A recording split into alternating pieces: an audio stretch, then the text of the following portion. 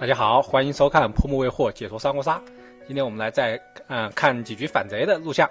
好，这个最近刚刚新上了一个武将啊，是刚刚登陆商城，就是也是一个一将成名，二零一五设计出来的，叫朱志啊。他跟那个钟繇啊、公孙渊啊这一批啊，这一回是一个朱志的一个主视角反贼，处在七号位啊。朱志在历史上是那个朱然的养父是吗？那个朱然好像不是他亲生的，好像本姓施。但是那个朱志把他收养了，就改名为那个朱然了，是吧？然后那个朱志他是跟这个孙坚是一一伙的，他一上来就是跟孙坚啊一起的。结果孙坚死了之后，他就那个辅佐了孙策，是吧？所以说属于老一辈的那个老一辈的吴国的那个那些那些高层，是吧？好，他的这个技能，他在这个商上卖的非常便宜啊，可以说是性价比是很高的。虽然强度中等，但是卖价实在是那个非常的良心，是吧？现在才一一千两百多元宝啊，这这是这个优惠价还是非常的给力的，所以说还是不错。好。看这个孙策一上来很霸气啊，放一个蓝蛮啊，他这个在不弃牌的情况下，因为有个雌雄双舞剑啊，那个那个不不由自主的想调戏一下这个新彩妹妹啊，好，然后那个吴老乐二号位啊，这是没有问题的，我已经说过了，不管怎么样，你把二号位一一乐，那个始终也能保护一下他。哎呀，这个荀荀攸这么多防御牌，就为了拆主公一个武器，这武器又打不着你，你至于吗？好，我们看这个张合他是什么身份？啊，张合这一偷，哎呦，这这又又偷错人了。虽然我们是吴国的，历史上也是辅佐孙策的，但也不至于选出来就一定是忠汉。好，不过不管怎么说，我们看到本来啊，孙策是挂了一个武器，他的技能我就不用。多介绍了，反正它相当于一个前期的一个嗜血英姿的一个效果啊。这时候曹冲跳了个忠臣，只要场上有人挂武器、挂简易马，我们把这些这个装备给它推回去，就可以摸一张牌，是吧？如果是防具的话，我们推回去是不，嗯，是不能摸牌的。好，我们看这个文聘很犀利啊，这一个九杀，哟，结果张英才把曹冲给救下。啊，这样看样子啊，这应该是这么这么个身份了，是吧？这个曹冲这个称象还挺给力，有杀有闪。好，我们非常遗憾，发现场上没有武器了啊，这我们第一轮想发动这个英姿还没发动起来。是吧？所以我对这个珠子它的强度估计啊，弱于嗜血英姿啊。嗜血英姿相当于相当于在军马场是一个一个标准线啊。一个武将能达到嗜血啊，每回合一收益的话，就就属于那个不错了啊。所以，但是他是达不到的啊。同时，他在残局啊，由于是单挑的时候，他基本上那个英姿是发挥不出来的。但是好处就是可以扒掉敌人的加一码跟防具啊，是吧？那个来进攻，所以说单挑也不是完全无力啊。但总体来说是弱于嗜血英姿啊，所以属于那个中等偏下一点的武将。好，我们看这个文聘啊，这一把遭到第一时间啊，遭到集火啊。文聘这个武将就这样的，一旦他被集火了就废了啊。我已经说过了，所以这把我们这个队友文聘啊，已经发挥呃不了什么呃什么什么功力了。我们作为一个嗜血鹰之将啊，这个就看场上有没有人挂武器是吧？好，这个荀攸很给力啊，一个蓝蛮怒摸一闪，这样赵云他挂起武器也不一定能打着荀攸了。好，那我们看这个这个蓝蛮下去，但是我文聘已经快奄奄一息了。我们这个桃子估计要。要为了文聘交去了啊，自己也掉掉到山去了。好，看这个后面续剧情如何发展啊，把速度打快一点。好，荀攸中了乐，但是手上是有个明闪。我们看张合偷一偷，曹冲偷一偷新彩，然后移了，哎，把这个荀攸的加一把一个文聘啊，保护一下文聘啊。可惜被这个曹冲被拆掉了啊。但是场上曹冲挂了一个这个寒冰剑是吧？那我们终于可以英姿一把了啊。我们把那个寒冰剑推回去，哎，结果还怒摸一桃啊，这个桃是非常及时的，是吧？这个有桃子在，这个文聘可能能够多活两轮了，是吧？然后最好他能活到坚持到我们来一个什么东西把文聘收了。哎呦，结果这个。发现形势一变，我们被激活了，我们被打成两血了啊！这样场上一个装备挂起来，后面的装备也就陆续挂起来啊，那我们后面想发动我们的英姿效果就很容易了。好，我们看这个荀攸直接决斗啊！这个曹冲啊，知道曹冲有一个明的这个寒冰剑是吧？另外一个果然是个闪，好，荀攸给力，把这个曹冲给带飞了。看这个张合这个偷啊，这个张英彩还是挺克张合的。张合弃张让他摸一张，再偷一张，等于张张张合这这一下子啊，这个偷不出什么收益来，是吧？好，转眼这个场上的装装备被下的差不多了，还好我们的队友文聘手上还有一个装备啊，我们可以让我们再英姿一下。这一个英姿啊，那个及时的摸到一个杀，那个让我们那个给了新彩妹妹，哎，一下子好。现在我们人数上已经占优势了，就看后面能不能把那个赶紧啊，那个抓住这个人数上的优势啊，呃，尽量把这个张英彩先推下去啊。然后我们这个文聘虽然他比较残啊，但是他位置很好，是吧？哎呦，这这这还好不是那个属性杀啊。这个介绍云为了防止。被那个荀攸弃牌啊，直接把人王盾挂上啊，这样的话，这个人王盾就会被张合给移过来啊。荀攸在优势局的情况下开始开桃园啊，这是没错的。好，我们看张合把这个人王盾给了文聘啊，这样看来我们形势还是可以的，后面就慢慢的磨死主动方就可以了。好，我们再继续发动英姿效果啊，又又摸了几个牌啊，看看火攻，星仔桃子都弃了是吧？这一个杀，星仔剁过去啊，肯定没杀中。好，再看我们这个新的一个一个九杀，哎呦，这个九雷杀啊，这一下子，这这一下子啊，这个文聘掉了一滴血，哎呦，又被。又被给决斗死了，是吧？他刚才九雷杀荀攸的时候，文聘也是三血啊，三血武将，三血文并没法保护三血的荀攸啊，就这样。刚刚我们还说这个优还还有点优势的，结果被这个张英仔这一个爆发啊，打死了文聘，打残了荀攸啊，这这这样看来啊，这个形势不容乐观啊。好，但看样子这个介绍云是内有点像内奸了，我看他刚才肯定是手上是有杀的，是吧？他没有没有再次进攻荀攸啊，用这个杀来防防守一下。好，这个荀攸这个骑射被这个张英才给无解住了，好。看这个张合在一头，场上现在又没有装备了，我们又发动不了这个嗜血英姿了，是吧？我们又又要白板一下了。好，哎呦，这一个顺给他顺了一个杀，就哎呦，他裤裆里又掏出一个武器，这张英彩很犀利啊！刚刚我们的优势瞬间化为乌有啊！现在已经进入五人局啊，五人局即使那个我们是。即使能够在内奸的帮助下把这个张英彩杀掉，但是杀完张英彩之后，依然还是要跟这个赵云、孙策这两个盾将进行二 v 二啊，这还是很头疼的事儿。张英彩乐张合是没有问题的，啊这个主公说这乐，你看这张合一个阻止了张合偷是吧？然后那个张合确实也中乐了，他本来就失去了这个这个那个出牌阶段是吧？好，我们这时候这一个神奇的英姿又摸了一个杀啊，这一个万箭下去没有，可惜还是没有打死张英彩是吧？好，但是这个乐。到了孙策头上啊，但是孙策也并不是太怕这个乐，他反反正也不用多弃牌是吧？好，这个张英彩这这一下子打的这个张合有点有点惨啊，看样子马上我们就就就可以提前预预测主雷反了是吧？这个张合死了之后啊，这个张英才被我们打死，然后待会就主雷反啊，我们又阴资了一排啊，这看样子能够把他火攻死吗？哎，我们觉得这个桃子舍不得用啊，是吧？我们干脆这个把这个火攻存着啊，那个陈甲自己挂着，有机会我们把自己捆绑起来啊，捆绑 play 啊，争取。一波把这个主公给带飞算了啊！但是现在主公还很健康，我们看看能不能闪电助我们一下。哎呦，这这一杀赶紧救啊！我们刚才那个桃子可以保护一下这个这张合啊，要收也不可能让孙策收是吧？如果内奸想收的话，我们倒是没意见。好，这个内奸离线了啊！我们看看这个张合挂了一个加一码，杀杀了这个，趁着内奸离线给了赵云一下，他反正也杀不到别人。好，我们这一个铁锁，好，我们先英姿摸一张牌啊！靠，这个万箭开去，把张一闪的闪耗掉啊！我们看看能把张合收了。张合这时候有闪肯定也不闪了是吧？肯定是等着我们收了他之后，看能不能爆一波，爆一波。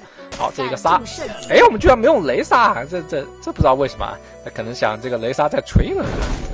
哦，对，我们不想解铁锁是吧？果然啊，我们这个这个雷杀，这个孙策啊，这这这白白扔一个桃子啊，他明显可以觉醒的，他把这个桃子给扔了啊，这个这个甚至主攻失误了啊，就是我们的机会。但是这个孙策这一觉醒呢，对我们来说非常的不利，他直接铁锁连环都弃了，也也不重铸啊，这个。这个孙子打得非常坑，是吧？好啊，这个孙子说他刚才没看到要两个桃，好，这时候我们顶掉加一码开始砍他啊。这时候我们发动不了英姿的效果，就开始发动我们那个扒防具的效果，是吧？好，我们刚才这个过拆留着，啊，等着你恢复不了血线，我们就把你干掉啊，是吧？拆掉你的最后一张牌，哎呦，结果他这个防具还挺多的。好，这个赵云这这一火攻，我们想看样子要危险了。好，我们这时候一个拆，赵云无限，我们再无限啊。这个拆看是拆他的什么东西啊？那个拆防具，那就把加一把扒掉啊！拆加一把就把这个防具然后推回去啊！然后最后用一个红杀致命一搏，还搏搏成了啊，是吧？大家可以看到这个朱字，他首先他那个并不是一定要靠这个扒武器或者减一码来达到英姿的效果啊！如果扒不了的话，敌人的防具啊那个也可以先扒掉，便于集火，是吧？但总体来说，这个武将啊，他经常有可能发动不了他的安国啊，大家可以看到，但是他他的基友啊，一个就是灵统啊，是吧？是吧？这种玩装备的，然后他的那个。这个相好啊，孙尚香啊，这不用说了，萧基这吴国的装备流啊，是吧？这是标准的。好，然后最后最后我们在那个临死的关头啊，那个把这个医学的觉醒主公给带飞了。当然，这个主公也打得很烂了，这个桃子就莫名其妙的扔了一个，否则我们如果这一轮干干死呃干不死主公的话，我们马上就被打残了，然后后面就是主公和内奸的事情了，跟我们反贼就无关了。好，总体总体来说，这个武将那个能能力一般啊，但是价格便宜，性价比不错，还是比较推荐的。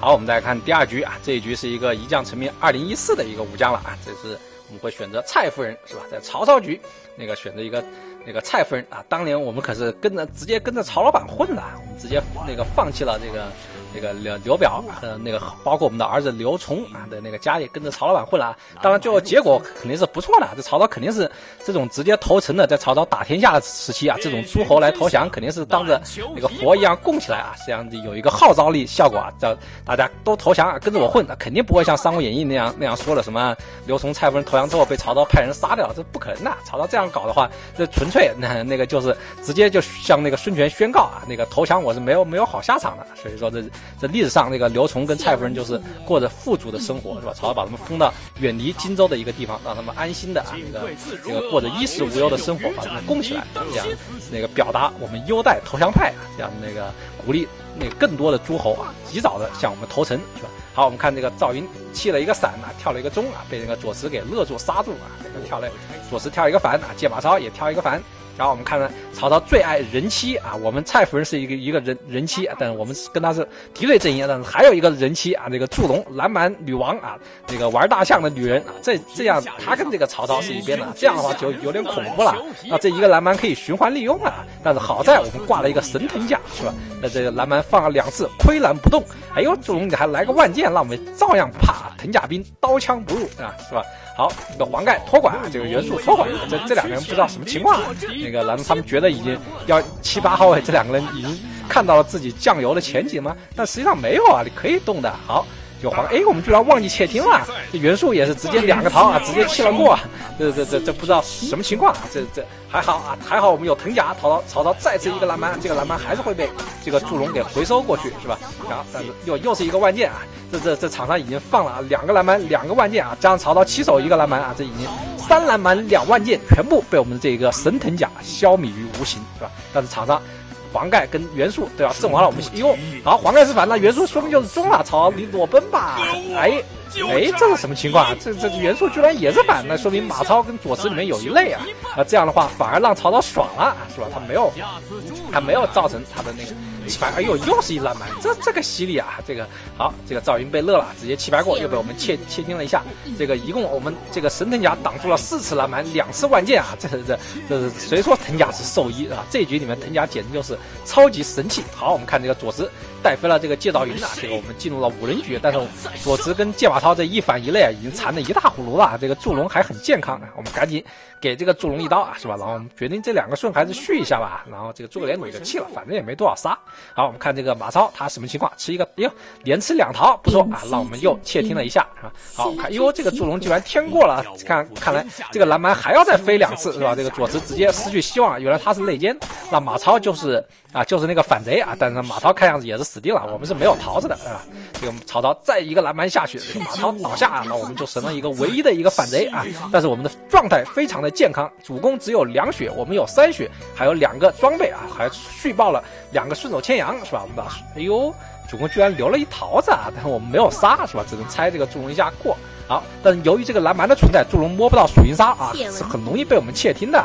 包括曹操也是，哎呦，曹操居然把我们桃子也收回去了，这个手够风骚的。好，我们一个九杀，好九火杀下去，曹操压成一血。好，这个祝融顺了我们的藤甲啊，他知道这个曹操是有杀的，是吧？所以就放了一个蓝蛮，我们不得已要买单了。曹操手上就是那个明的这个火杀了，是吧？好在他把藤甲给顺走了啊，否则的话这个火杀下去，我们我们可是要完蛋的啊。所以我们刚才九火杀这个曹操是有点拼命的那个节奏啊。祝融明知道曹操。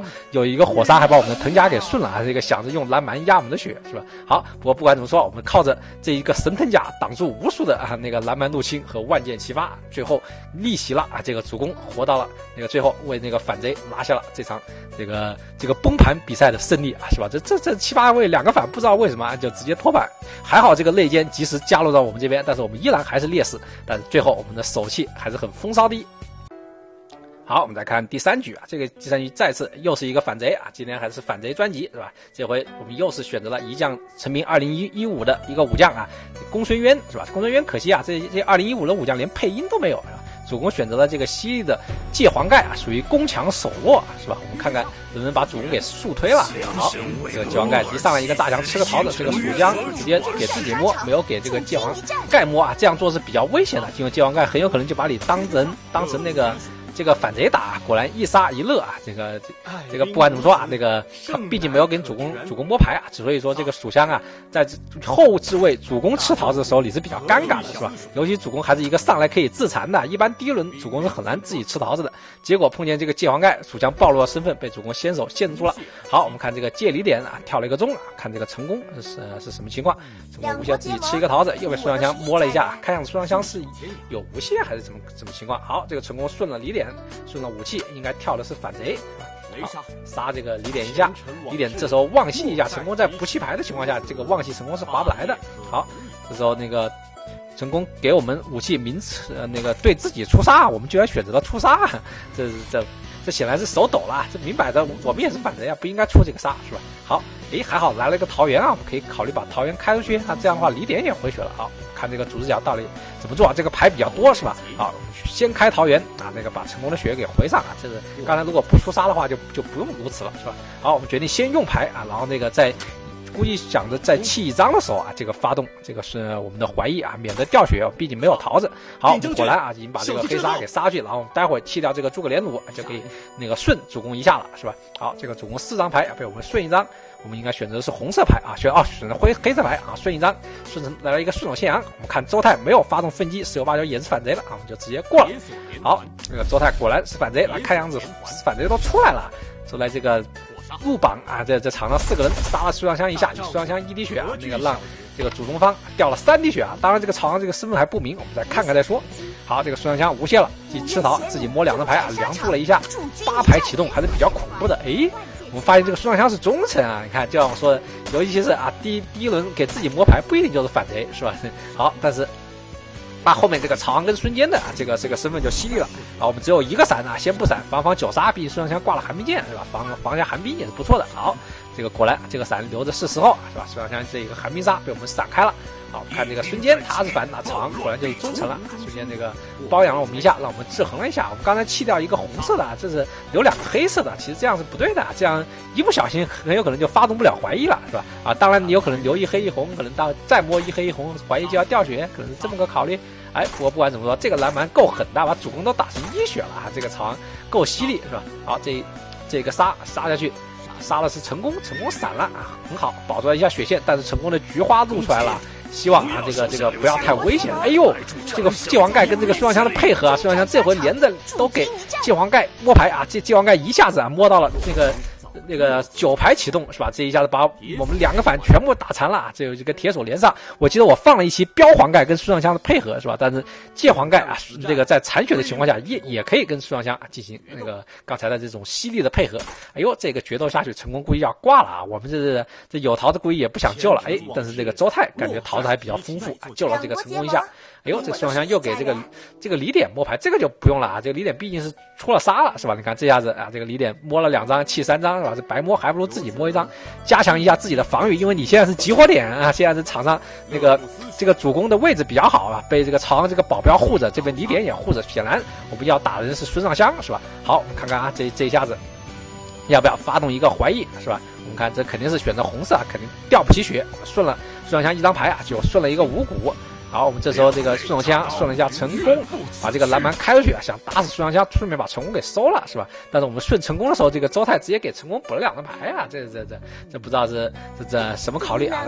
哟，周尚香居然是个内奸，哎呀，这样子麻烦了，我们费了费了这么大的劲，结果打死一个内奸呐，非常的啊，非常的悲剧。好，这个成功还舍不得给我们收人头，是吧？我们干脆顶着再开一个五谷啊，这个五谷还是不错的，因为先先拿牌的全部是那个我们自己人，是吧？好，但是现在我们血线回复不上去。啊，这个成功又要这挂着，待会这个曹昂、这个这个黄盖还有李典啊，这三个人在成功前面动，这个成功十有八九是死了的，是吧？我们赶紧就把这个成功给收了啊。这个这成功这个号称这这为什么要收啊？这明显的你我们觉得你活不下，活不到下一轮了，是吧？这个成功也很知趣的，没有吃这个桃子啊，是吧？好，我们走神奇的来了个木流马，这样的话，这个木流马相相当于给我们止损了啊，这样让我们的手牌达到了最大化的利用。我们这样只弃一张牌过啊，是挂一个藤甲，留一个九，看看这回藤甲能不能发动啊，发挥那个神藤甲的效果。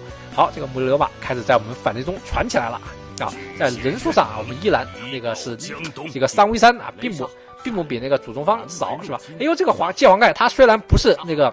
是一个明的杀，但是我们考瞬间可能想着这个曹昂啊，这个这个是个保镖是吧？所以说这个九杀拍到这个界离点身上，结果被闪掉了啊，真是遗憾啊！这就是保镖的作用。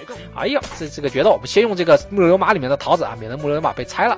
好，这个幸亏周泰还有一个无懈，让这个九王盖那个中了一轮乐啊，否则的话我们还挺危险的。哎呀，这个九杀幸好还有一个闪啊，这个松了一口气。好。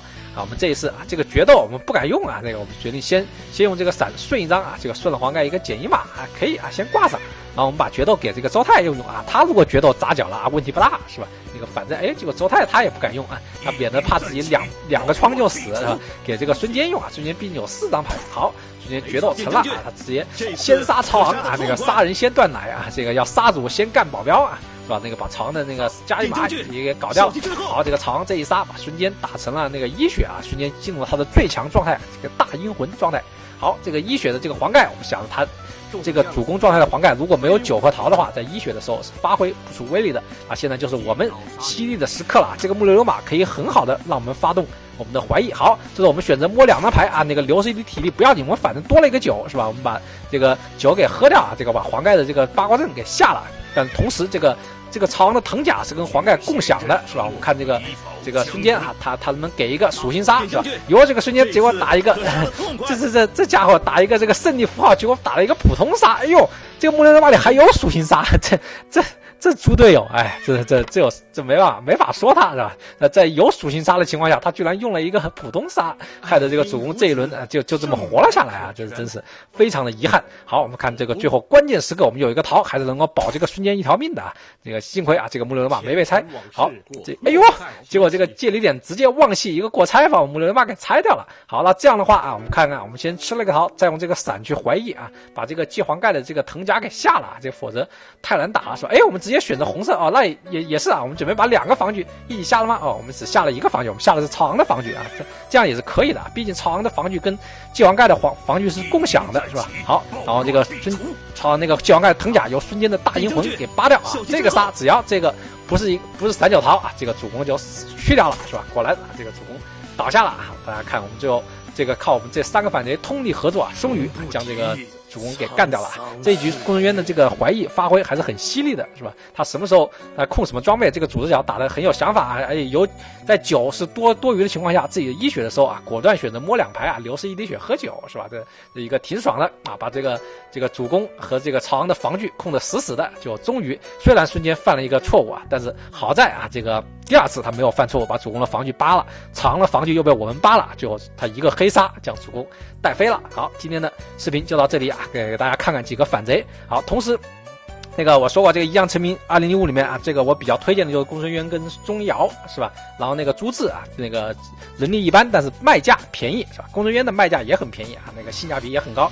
好，最后说一下那个钟会的老爹钟繇，是吧？这已经有人纠正我说这个字呃念游啊，我确实我这之前犯过很多这个生僻字的读音错误，但这次啊，我好歹让我让我对一次，是吧？钟会的老爹是叫钟繇啊，那个字是个多音字，又念游又念瑶，但是作为这个钟会的老爸啊，他是念瑶的，这是有这是有这个。有文献可以佐证的是吧？那个《世说新语》里面有一则啊，那个叫什么排调啊？那里面就有一次司马昭啊陪着那个陈谦和陈群这两个人坐一辆车，叫钟会一起上啊。结果钟会出来晚了，然后司马昭就开始嘲笑他说：“望卿遥遥不至。”啊，字面上的意思是你怎么半天不来啊？我们都那个望眼欲穿了，是吧？但实际上他是那个用了这个“遥”字，那个时候喊别人老爸的名讳是不敬的。但是司马昭打了一个擦边球，以双关语的方式那个调侃那个钟会，喊他老爸的名字。结果这个钟会张嘴就回啊，说那个皎然一时，何必同群？他的意，他那个字面上意思就是我这种道德超级高尚的人不同群也嘛，那个不合群没事儿啊，是吧？但实际上他也也喊了那那个人家爸爸的那个名字，是吧？那个当时车上有三个人，司马昭、陈谦和陈群啊，陈陈泰是吧？然后那个司马昭老爸那个司马懿啊，他已经说了皎然一时，那个懿就是司马懿的懿。然后那个陈谦的老爸陈皎啊，他也用了。